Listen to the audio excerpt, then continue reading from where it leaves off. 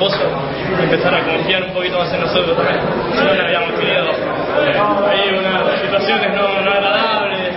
Igualmente el, grupo mostró estar muy unido, más fuerte que nunca y bueno, hoy lo pudimos demostrar en la cancha eh, las actitudes que tuvimos fuera Realmente no hay, no hay divisiones, no hay nada. Demostramos con, con lo que pasó con Mariano que somos todos uno, somos todos un grupo no hay divisiones, todos somos todos, la verdad que, bastante buenos compañeros y muchos amigos, así que no hay ningún problema. No sé quién habrá dicho que, el equipo, que el plantel estaba dividido. No hoy no salieron las cosas, estuvimos también eh, la suerte de poder remontarlo rápido, de poder empatar rápido, así que, eso también ayuda. Siempre una puestita de suerte viene a la explosión.